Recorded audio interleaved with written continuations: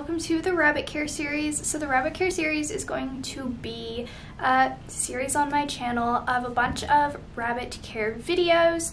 So this is going to be helpful if you're a first time rabbit owner. I'm hoping to cover all the basics. So if you guys have any questions about litter training, about bonding with your rabbit, about what you need before you get your rabbit, about where you should get your rabbit. It's all going to be packed into this wonderful playlist.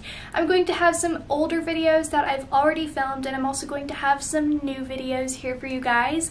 So if you are on the playlist already, I hope you enjoy. If you want to get to the playlist, just go to my channel, click on playlists, and it'll be under the Rabbit Care series.